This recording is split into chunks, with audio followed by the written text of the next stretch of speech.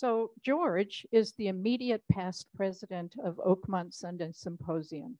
He was a member of Symposium's board of directors for five years, the first two as vice president, the last three as our president. And he steered Symposium through the difficult pandemic and subsequent shutdown of OVA facilities by shifting symposium talks to Zoom only, and later to a hybrid model of Zoom plus in-person symposium presentations. But George's contributions to Oakmont extend well beyond Sunday Symposium. And it's no wonder he was the recipient of Oakmont's Volunteer of the Year Award in 2019.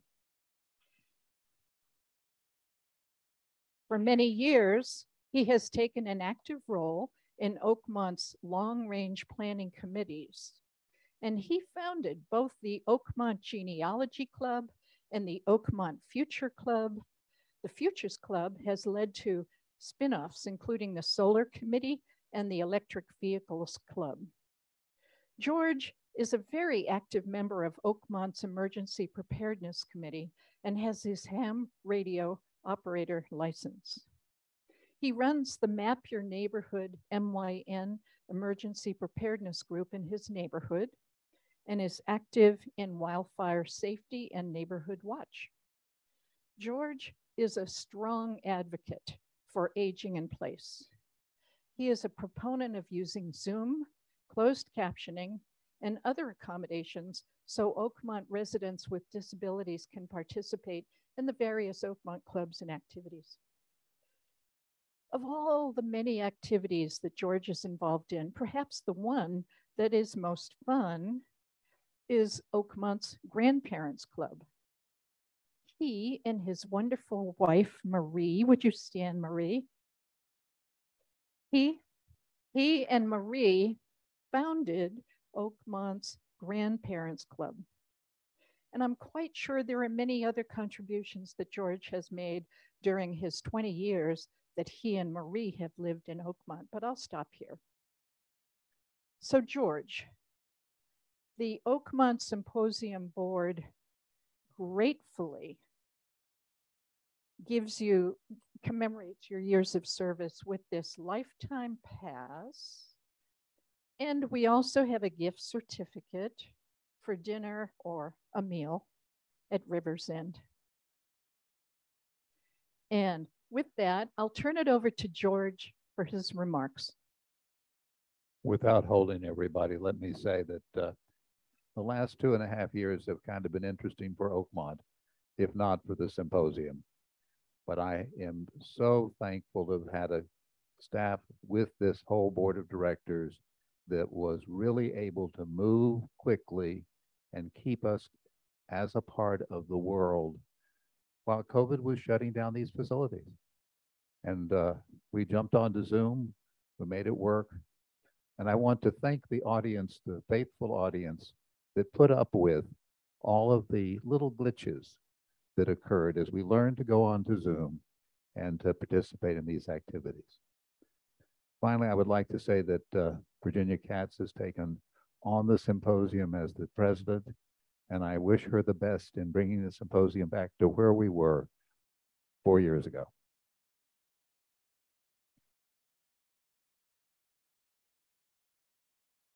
And now Sue Dibble is going to introduce Sarina. Sue was formerly on the board of directors for Symposium and was the uh, was able to get Sarina to talk to us.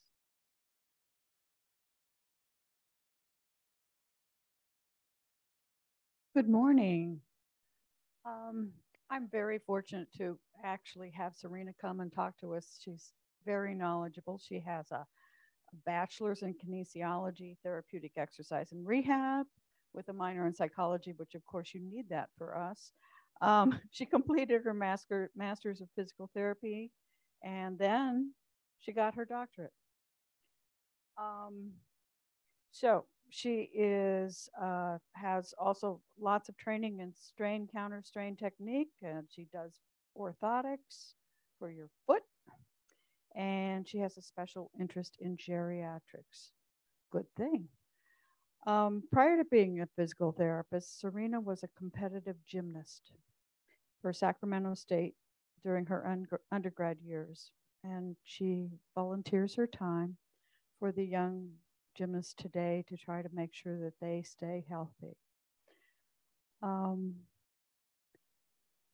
11 months ago, she bought from her boss OSPT. So she owns orthopedic and sports therapy here and in Farmers Lane.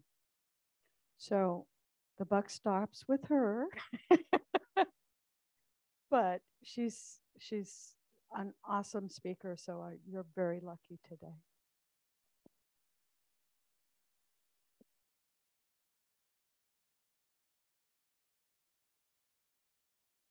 I take, there it goes. Thank you very much. Um, hello, everybody. Thanks for coming out in the rain. I'm going to try and get this to screen share again because we had to switch that and it should go. Yay. Okay. So if you didn't know what we're talking about today, it's osteoporosis. So I see a lot of familiar faces. Some people I recognize from here up, and some people I recognize your whole face, which is great. So nice to see you all again. Um, I did work out at this clinic um, right over here for the first six years at OSPT. The last two years I've been over at the Farmers Lane site, and I come over every once in a while. So Sue already introduced me. Um, oh, let me see. There it goes. That's basically what she just introduced in a little nutshell. Um, so we can move right on into what we're going to do today. So today we're going to talk about osteoporosis and osteopenia. Um, they're both very close to each other. One actually leads into the other.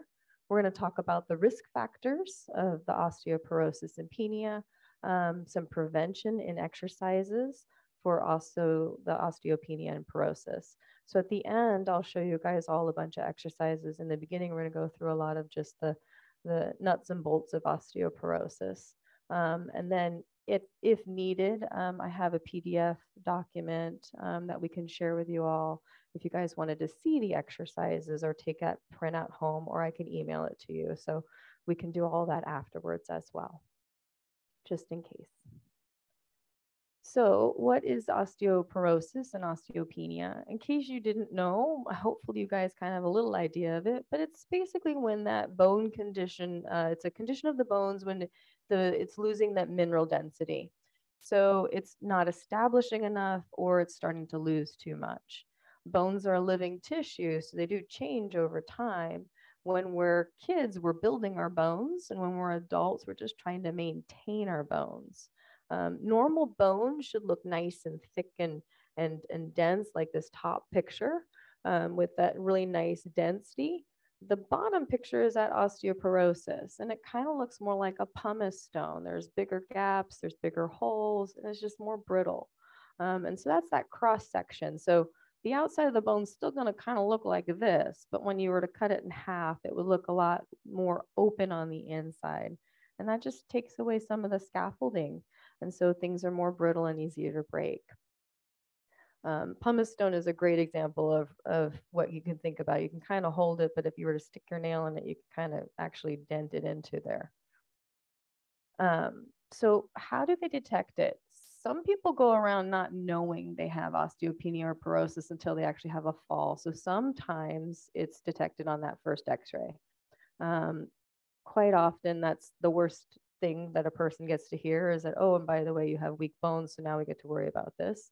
Um, because falls become a huge issue going forward once you have osteoporosis. You don't really want to fall because your bones are just so fragile that you might break and they're harder to recover because those bones have to heal. Um, so fracture is sometimes the first detection, Otherwise, people are taking their DEXA scans because the doctors are looking at preventative measures, which is great. So that DEXA scan is scanning to see how dense your bone is. They can scan it in a few different areas. Sometimes they do a full body DEXA scan, which is nice because you get to see the back, the arm, and the hip. Those are the most common areas that we look at. Um, and basically, it kind of gives us an idea of like how dense your bone is compared to the general population for your age. And we'll get into that in the next slide.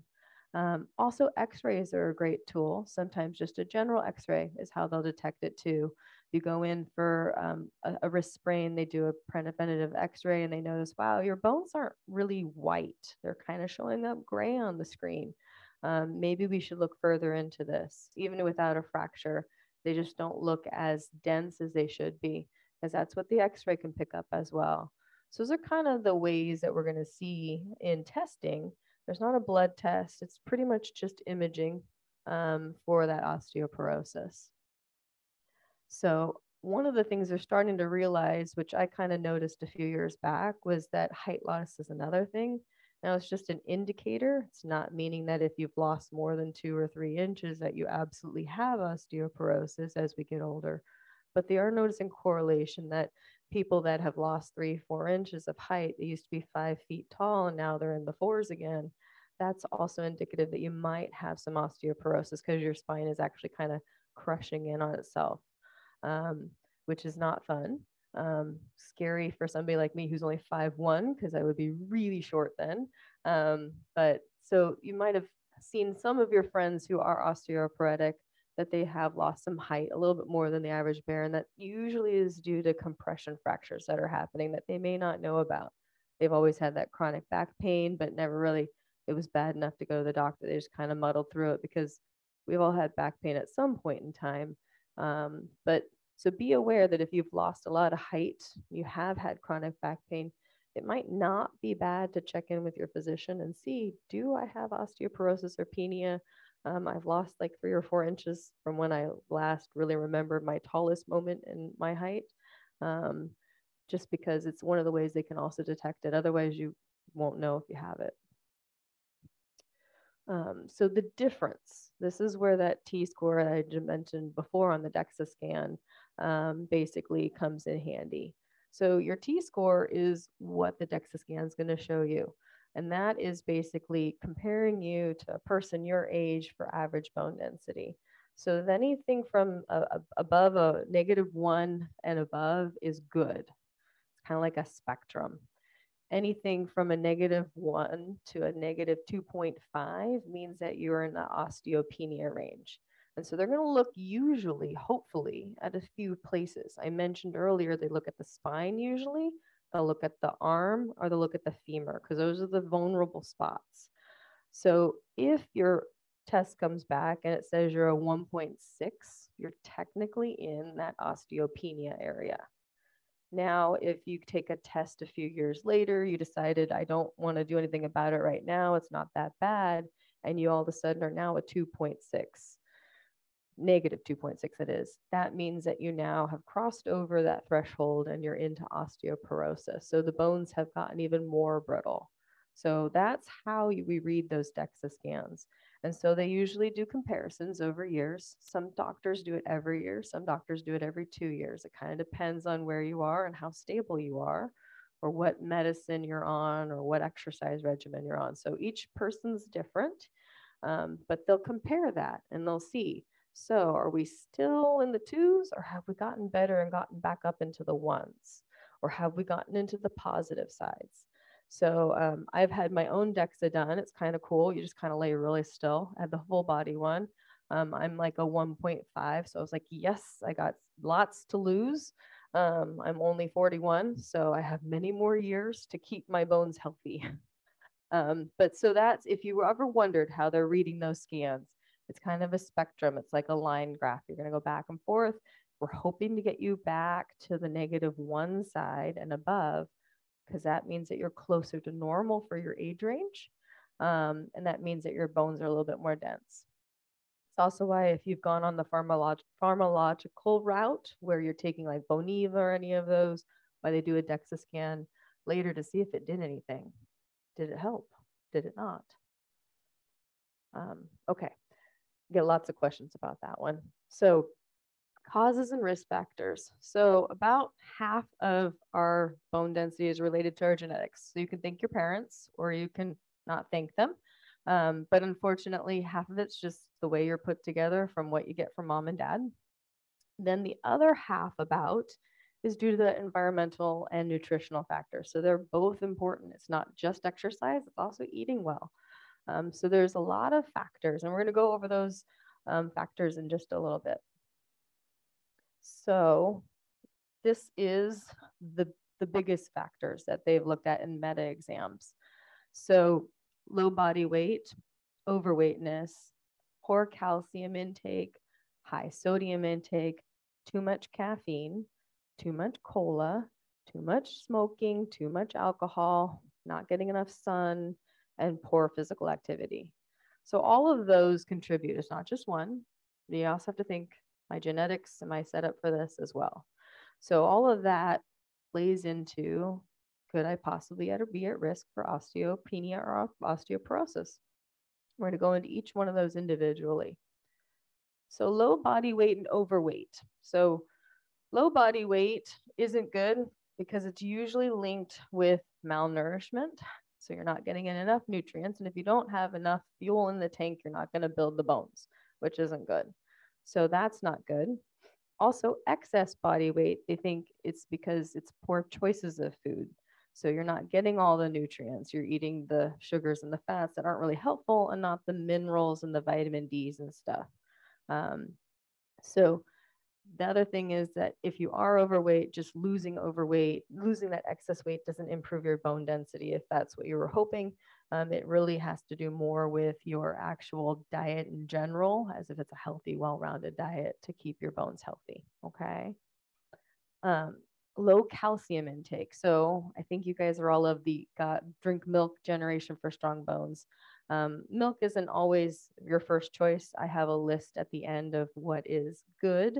Um, vegetables, there's tons of vegetables that are great for us, and tofu's and beans and stuff like that. But the current literature is basically saying that in our youth, 20% of our bone density is based basically on what we're eating.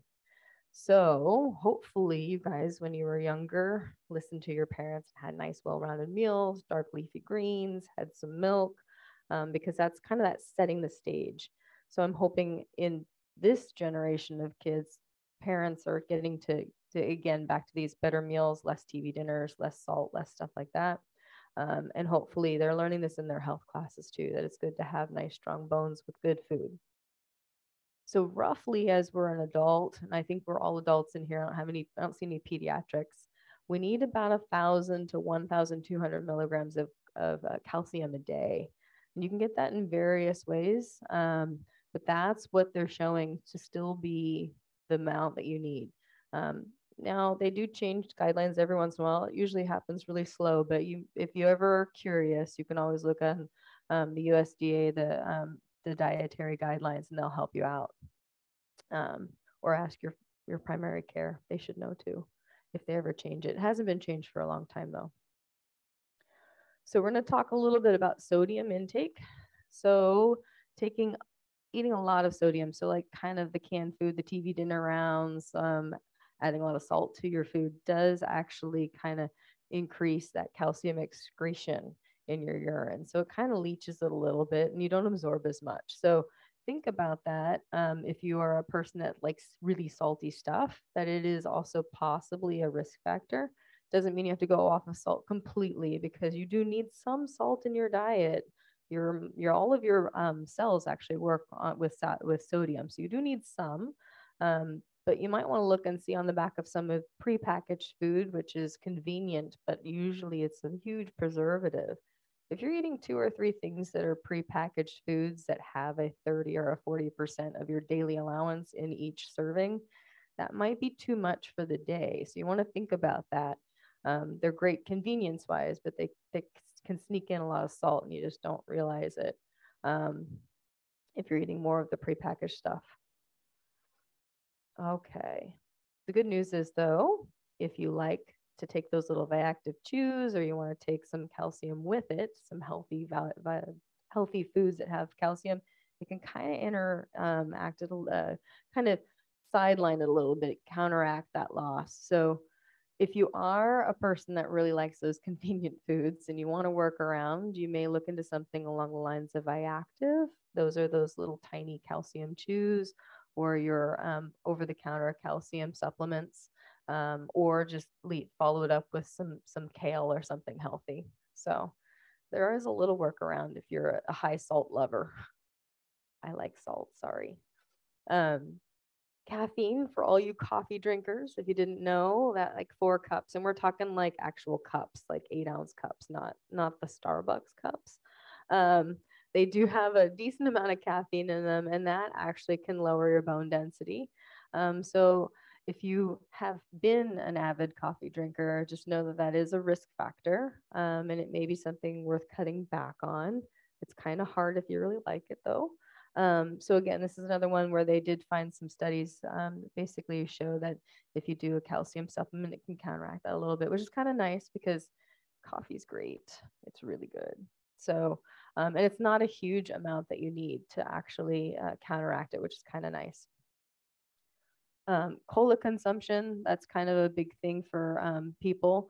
Um, it's the phosphoric acid in the cola that actually can be pretty risky. So it may be something that if you like to drink a lot of the carbonated fizzy stuff, to think, hmm, maybe I could cut back on this and just drink water, um, just because it's a little bit better for you. Also, it's just it, they're completely devoid of all nutrition. So unfortunately, I mean, they taste good, but you could be replacing it with something that might actually be healthy for you. Um, so that's one of the aspects of, of cola that's not really, really good either. Not only does it leach, but it's just, it doesn't give you anything back. It doesn't even really hydrate you, unfortunately, due to the os- osmolarity of it. Excessive alcohol intake is another issue. Um, so it's interfering possibly with the metabolism of the cells for the bone density. So um, not so much of the leaching aspect, but um, deficiencies uh, elsewhere um, also play into this. Um, and also, it's another one of those things where it's just kind of like soda. There's really no nutritional benefit. So you're drinking something, you feel full or satiated, but you're not actually getting a benefit out of it. So your bones aren't going to benefit from this as well, in addition to the possibility of it interfering with that healthy bone, living tissue, bone metabolism. Um, I know a lot of people don't realize that bones are a living thing, and that's that's very important. Uh, that's why we can make these little changes with our food, diet, and exercise that can help. Smoking is another one. Um, it's mostly the early adulthood when you're laying down your bone. Um, we lay down most of our bone before the age of 30, um, and then we're just trying to keep up with the race and maintain it but smoking in early adulthood interferes with that. Um, and also, they realize that it just um, tends to be people who smoke are less active, probably because it's harder to catch your breath, um, because your lungs are already um, having a little bit of a disadvantage. So, um, but they also just show that people that have uh, a history of smoking, they have a higher incidence of hip fractures, they have a higher incidence of osteoporosis. Um, and so it's just not really a good thing to have in your background, but um, it was in the past. So what are we going to do to fix it? And I'll hopefully show you some exercises that can help with that going forward in a little bit. I know all this sounds horrible. Um, so sun exposure, uh, it's great that we all wear sunscreen now. I, I wear it every day, which is wonderful, but they are thinking that maybe that's interfering a little bit with our vitamin D production. Um, and it, it, some of it also is just our geography. Luckily, Santa Rosa has some pretty good sunny days, usually unlike today. Um, but for the most part, um, it's the sunscreens that we're wearing for skin cancer that are interfering with our, our vitamin D production. The good news is you can take vitamin D, and hopefully, your physicians have you on or have looked at your vitamin D levels. Um, this is a blood test they can do to see if you're deficient, which is kind of cool because a lot of us were or are um, on higher amounts of um, vitamin D than what this even recommends, including myself. So if you've not asked your physician for a vitamin D test, you could in your next physical um, just to see if you're deficient or not.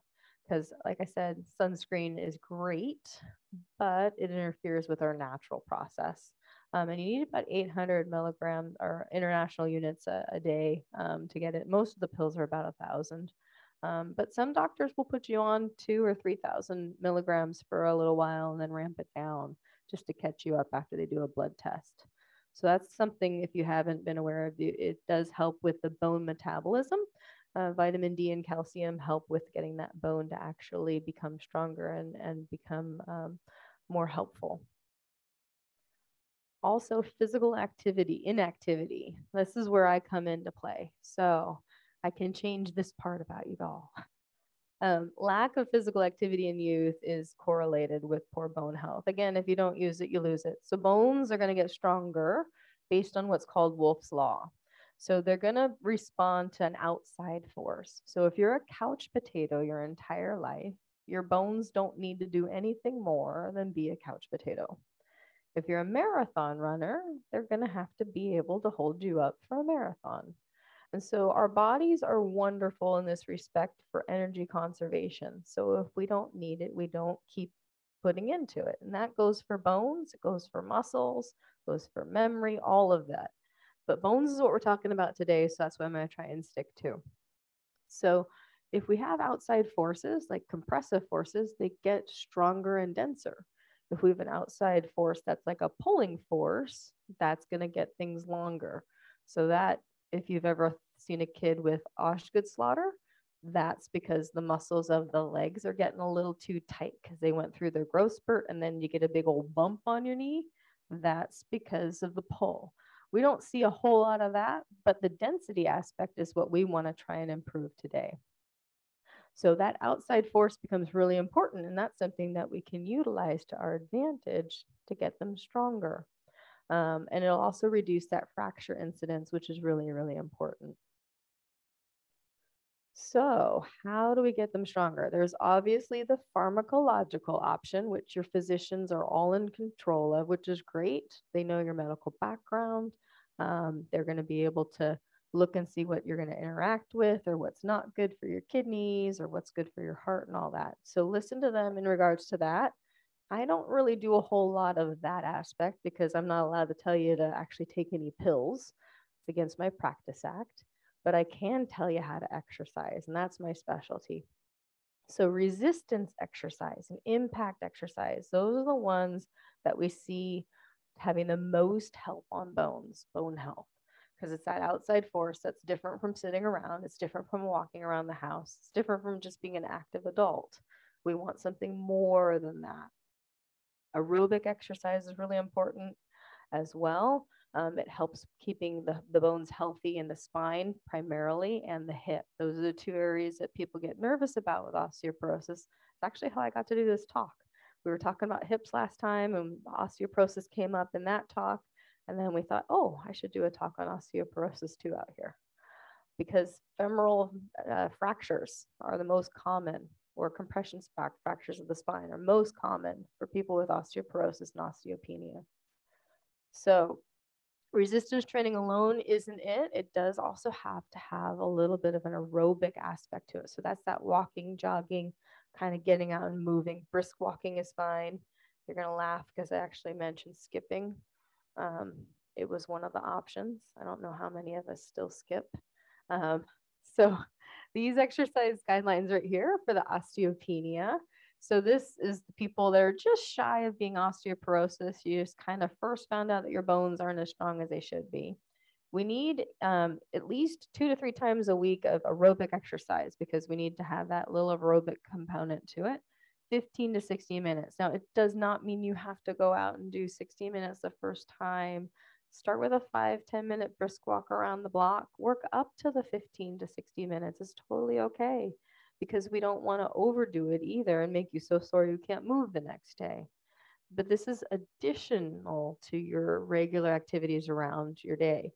So if you're osteoporosis and osteopenia, I mean, and you've been doing your normal little walk around the block for the last five years, this means you have to do something a little bit more intense than that. So walk a little bit faster or walk a little bit longer. It's not just maintaining at this point. You have to put a little extra oomph into it. That's the hard part, is that extra part. The intensity needs to be about 70%. So you do need to be out of breath. You need to kind of not uh, really want to do it, um, but know that it is hopeful for to see a change. And that's the difference between being physically active and exercise. Physically active is running around the house and doing all the chores and doing the errands and going on the dog walks. physical exercise, when we're actually exercising, that's with the intent to change something. That's with the intent to improve something. So it's a little different than just being active. And that is a mindset. So when you're trying to exercise, that extra little oomph, that extra little desire to go a little stronger, a little faster is actually good for your bones. Um, and then that impact um, needs to be moderate. So I joked a second ago about skipping, but that kind of intermittent jogging, the brisk walking, um, skipping, step aerobics, um, any of those that have a little bit of actual foot hit the ground kind of thing can be really good. Just walking through the house and being active isn't enough because you still got osteopenia with doing that. And that's the hard part to remember is that you've been doing that, your body's used to that. We have to go beyond that. And so that's when that little bit more brisk can help. So if you have an ailment or an injury, this might be where physical therapy comes in handy. So some people are told that they need to get out and do a little bit more impact, but they have a bad knee or they have a bad hip or they have a bad back. That might be where it's good to see a physical therapist to get an exercise program more personalized for your situation so that you can do the activity without making something that you have that you're trying to not get um, out of control or hurt. Okay. But walking, unfortunately, isn't enough. It needs to be a little bit more. I want to see everybody skipping after this out of here. We'll do it together. So osteoporosis is um, basically a little bit more um, ramped up from that. Um, basically, strength training is really, really important, and you want to target those muscle groups. So going back to that DEXA scan when I talked about in the beginning, when they looked at the arm or the hip or the back, if your physical therapist or you know where your weakest point was, so say your arm was good and your femur was good, but your lumbar T score didn't look great, you can try and do exercises around those muscles or your hip muscles. If the hip muscles aren't good, uh, or the hip the hip bone uh, density is not good, we can actually target those muscles um, to pull on the bone there. And some of the exercises I'm going to show you today will do that. So weight bearing, obviously very important. So it's better to be actually upright and standing versus sitting um, if you can, just because that loads the spine for osteoporosis. Um, and this is kind of a cool little tidbit that basically, if you're increasing some of your muscle strength and your balance, you're going to have a less likelihood of falling. So we talked earlier about if you fall and your bones are more brittle, you're more likely to break. That would be something that may be good to work on too, is a little bit of balance because then we can reduce your fall risk by 35%, which is pretty important too. Um, so anybody over 80, 80 years old, the fall get the best fall risk reduction if they see a physical therapist or they start doing balance exercises. So if you're 80 and over, you guys are going to get the best benefit. So that's kind of cool. Um, doesn't mean that if you're under 80, you don't get a benefit. It's just that they found that people over 80 have the best benefit to get stronger and less falling, um, better balance if they actually train it, which is kind of cool. Um, I mentioned earlier that slowly progressing is super important because if you go too fast, too hard, you're going to have injury. And we don't want to have injuries because then you're less likely to keep up with the exercise.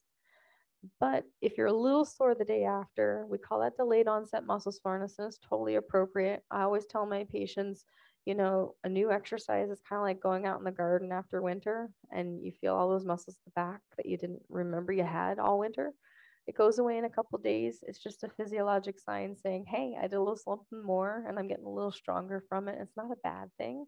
And it goes away. And ice can be really helpful for that. So some of these exercises you start to feel your arm muscles that you haven't felt or your leg muscles that you haven't felt, it's okay. It just means that you're getting stronger. Kind of have a positive spin on it. It's not fun for a couple days, but you are going to be stronger and it's going to help your bones. Um, so again, I'm going to reiterate walking, just your normal walking isn't enough. We need to do something more. So we need to actually ump that up. So if you're walking the dog for your exercise, maybe add in a walk without the dog where you're walking brisk. Um, so that you get a little bit more oomph because dogs like to smell every single blade of grass and they're not always helpful for that impact, unfortunately. Um, references in case you wanted them Um, also, before I get into the exercises, we do have um, on our website newsletters that go over things like osteoporosis or bursitis and shoulders and stuff. So there's also newsletters there. Same with Facebook gets linked to that too. So if you wanted more of these kind of generalized health and wellness things, we also have those on our site. But what I'm going to get into now, if I can figure it out, is we're going to get into um, the exercises, which I will have to pull up the screen share again on the other page, which, let's see, I want my screen, yeah. Let's see. That's my son. At least it's sharing. All right, here are some of the exercises we're going to go over. Hopefully, yay, it pulled up. Okay, so exercises the first two that we have right here, I like these stretchy bands. I love these stretchy bands. They're nice because they're portable. Um, they're pretty affordable. You can get them in a pack of three or five over at Big Five or Dick's Sporting Goods or not. Um, if you are a patient at our clinic, we've probably given them to you because they're so convenient. So I mentioned T scores for the hips. So if you're in that category when you go home and you realize, hmm, that was my worst one, this is what you want to try and do for it. So I do recommend you actually sitting down to put your little guy on. So somebody's alert's going off, and I don't know what that is. I don't know. But to get these little loopies on so nobody becomes a patient from falling, sit in a chair and slide it around your ankles. It's much safer.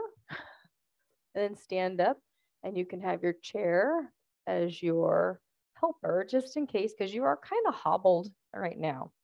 So we have a few different directions we can go for the hip. So if your T-score in this area wasn't looking so hot, we're really far down on that negative number.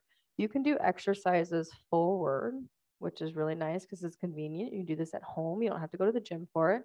If you do go to the gym, you can do things like on the leg press. We can also go out to the side and out to the side. So all these pictures have these wonderful little options. And we can also go backwards, okay? To do the one that's attached inward, you have to get a little bit more creative. You have to put that around something, which I'm gonna show you. Put your foot in, and then you're gonna cross over and that's a little lower down. So I'll roll that down in just a second. So these exercises get all four components of the hip. They're basically helping to strengthen with resistance that muscle group around the hip to help with your T-score there. If you don't like the rubber bands because you're afraid of tripping, ankle weights can be really, really helpful too. Starting out with two, three pound ankle weights, put them around those little cuff weights. You can do the same thing. You don't have to worry about being hobbled which is kind of nice. All of those exercises, and I'll scroll down to these ones right here so you can see that forward and back. They're strengthening this part right here of the hip bone. So this is that hip bone right here. We basically just had the hip going all four different directions and you were pulling on it. That pulling, that resistance, that outside force, more than just walking, is actually causing this to get a little stronger because it has that outside force. So this would be something that I would highly recommend if you have uh, that hip score that's a little low. Okay. Yeah, it's a little hip. A lot of the muscles attach right there, actually. This part goes into the socket. I know it's super small. I'm sorry. But I can email these to anybody. It's just a PDF. Okay. I think they're going to try and get it set up to where you guys can it too.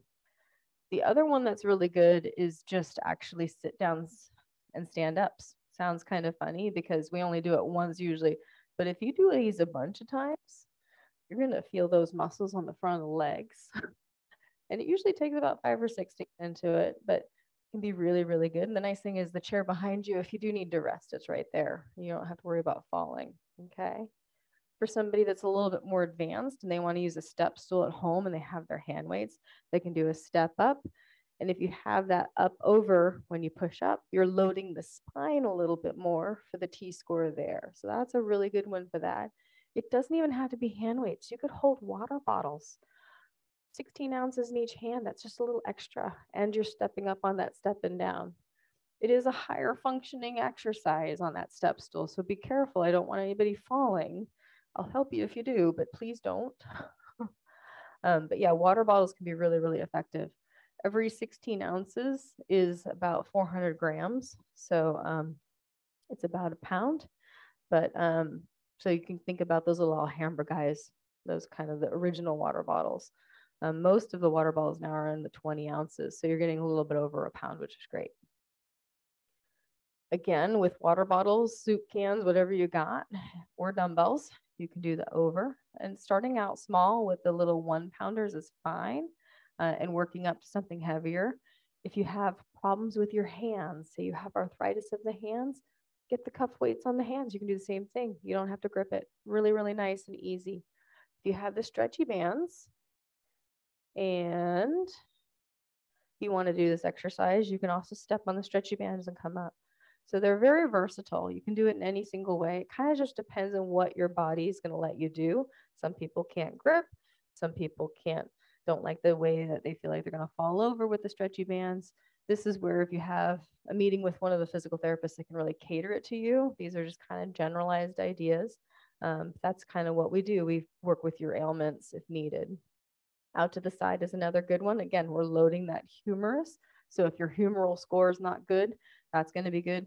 But also, I want to mention that if we're doing this stuff up and over and we're standing up, we're also loading our trunk. So we're loading that lumbar spine. So all of these arm ones that we're doing are doing two things. They're getting the arms and the trunk, which is good. So if your T score and your trunk wasn't good, your lumbar spine, these all would be very, very good to add in.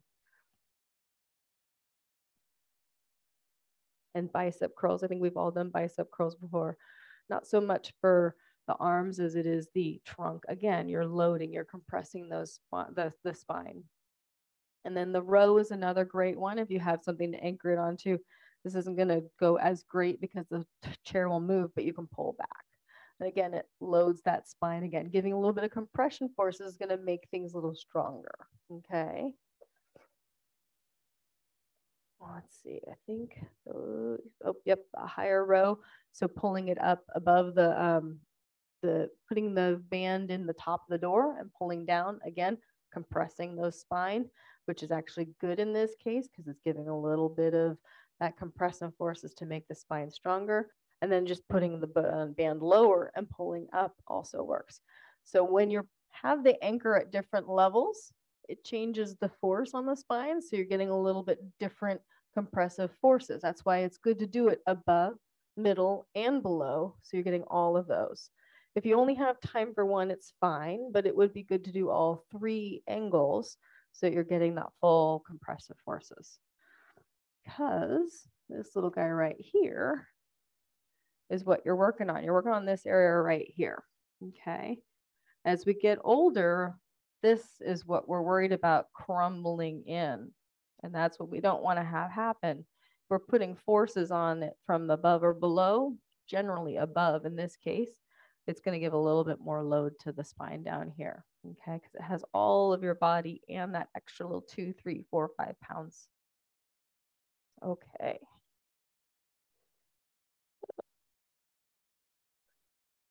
I think that was the last of the exercises. So uh, this is where I want to open the floor up to anybody that has any questions specifically about the exercises or anything in particular about osteoporosis that I could help with. Presentation, another outstanding presentation. Thank you, Sir. Thank you so much. Do we have any questions?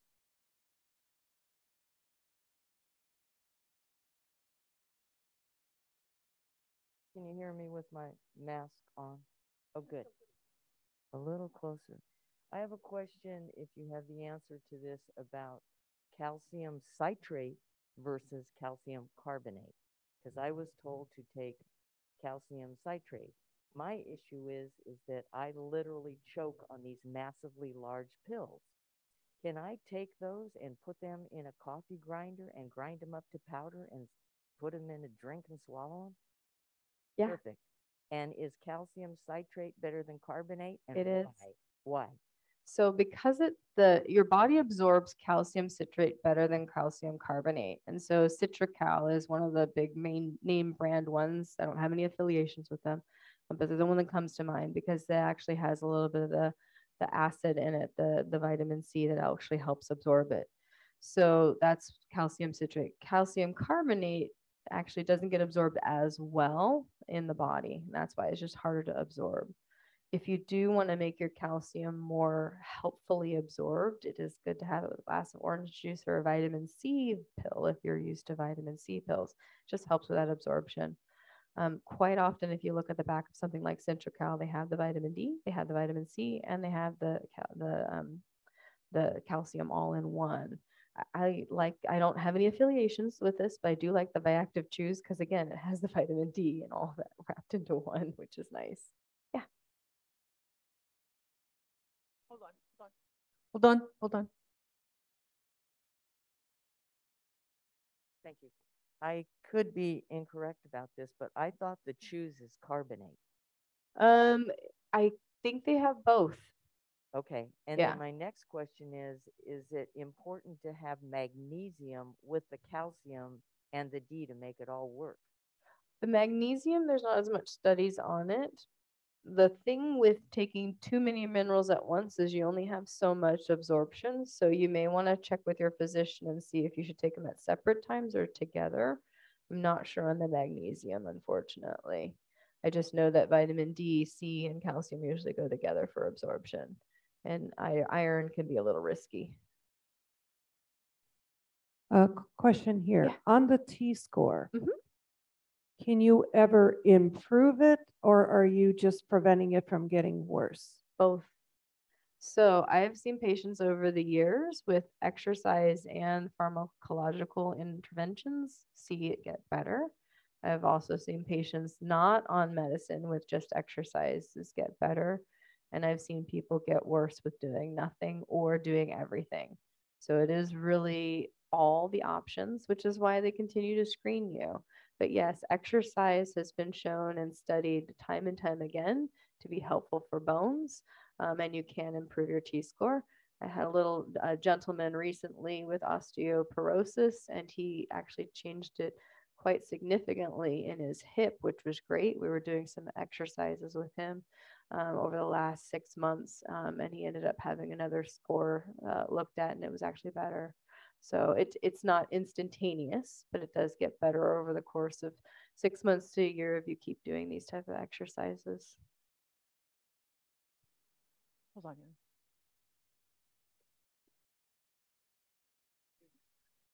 You know, because of the, um, uh, how the back starts to, I forget what it's called, um, compress. Uh, is something like an inversion table, uh, it, it feels so good at the time, but is it good in the long term? So the compression table can be great just to unload the spine. So if you just want it for stretching in general, yes. Will it change your osteoporosis? No. Will it make it worse? Nope. But it can alleviate some of the compression forces that we all get. So as we get older, our discs naturally wear out, kind of like treads on a car tire. So they just kind of wear out. And the disc are these little spots in here between the bones. That's partly what accounts for some of our height loss. We usually lose about an inch or so. That's because these little discs right here get a little bit more um, worn out. And then what he's asking about is the traction. If we go like this and we use gravity, it just gives a little gentle stretch and unloads that. The reason why it feels good is because, yeah, it's taking off the effects of gravity, which is pretty standard, um, that 9.8 meters per second squared and it opens up the space where those nerves come out. The lumbar spine in particular, those are the ones where when they're not happy is the sciatica that comes to talk to you and you feel that lovely back down the leg pain. If it's a little higher up, you might feel it kind of into the groin and upper leg if it's that little upper lumbar spine. But usually that leg pain that's associated with the back problem because one of these little nerves guys is pinched. So yeah, the inversion table could be absolutely fine. You're just stretching out those ligaments. You're not going to do anything to the bones, Um, if you've never done the inversion table before, you may give yourself a little bit of vertigo. So don't go all the way upside down. I believe John over at the um, fitness center is really good about showing people how far to start out. Just a little bit's good. And then as you tolerate that, you can always get a little bit more to get that, that opened up. But it can be great to help out um, just because, yeah, compressive forces don't feel good as we get older, but it happens to us all, including myself. 38 and I have arthritis in my back, so I, I get it. It's only going to get better. I know. Any other questions? And then at the end, if any of you guys have any actual questions that you're not comfortable talking about in the whole group setting, don't hesitate to come up and ask. I can also give you the exercises. And as I said before, these are generalized exercises on this handout. Say you have arthritis of the CMC joint, that hand joint, and you're just not up to being able to do something with weights. There are ways to work around it, and a physical therapist who's the movement expert can do that. We have our clinic right over here, and usually it just takes a, a point, a trip to the doctor's office, to your primary care in particular, to say, hey, I'd like to get some specialized exercises I know exercise is good for me, but I don't want to mess up my knee or I have a shoulder replacement. I don't want to mess it up. Can I just make sure that I'm guided properly? And a physical therapist can do that. So you can have this covered underneath insurance if you um, basically have that physician saying, yep, they need a little bit more one on one care. So when these exercises, if you're just trying them out and they're not 100% comfortable for you, it's okay. It doesn't mean that you have to give up on exercise. I still want you to exercise. We just need to find the right ones that are working for your body. And every single body's body's birth is different. So uh, we understand that and the changes that need to be made. Okay. Sarina, you're such a clear speaker. We are, we have oh, we one do more. have questions. Yeah. Um, I, I just hope you come back again I- with another topic. Any topic you guys want, physical therapy wise. Or a six year old. Do you know of any exercise classes in the Santa Rosa area that would be addressing this specific problem? You know, I don't. That would be a great thing to look into. Um, hmm. Most of the classes are just, you know, like Zumba or something like that. Um, actually, you could make Zumba if you, so if you like dancing or ballroom dance or something like that, that's that would be an impact force which you could do. Um, swing dancing, Zumba, any of those step class type of stuff but actual class just for osteoporosis, I don't think there is one. Um, Well, this is a great opportunity say we should make one. for me to tell you all about the Monday, Wednesday, Friday, 9 a.m. classes right here in Bur- Berger. They're with the Oakmont Health Initiative. And Joreen and Nicole run these wonderful classes that are suitable for us seniors. And you don't have to get down on the floor for the second part. You can just do the first part. But it's a great workout. I get my heart rate up every time. And in an analogous uh, way, the, there's a big balance class group here. Oh yeah, And so you, you want to be aware of that. If that's a part of, if that can get you thirty-five percent less likely to fall, that's a good thing. mm-hmm. That, that's always in Oakmont news. yeah. Same with physical therapy. So if say you have noticed over the last year as we've come out of the pandemic that you're still not really comfortable going out because it's not now that pandemic as much, but it's because you're afraid of falling, you can always let your physician know that as well. So in the event of you're afraid of falling but you haven't fallen yet, they would rather have you get treated for a little bit of a balance loss now than a fall and a broken leg or a broken arm later. Um, again, just giving you some strategies and tips, screening your balance, making sure that you don't actually have to have a fall if you wanted to get it worked on to work on your balance. And you can improve balance with exercises as well. So that's something also to be aware of. And I believe that balance class is on Friday mornings at nine thirty, if I'm not mistaken, in the East Rec. And it's run by Mary Hastings. Who, it's a junior college class, so it's free for us seniors. All JC older adult classes are free.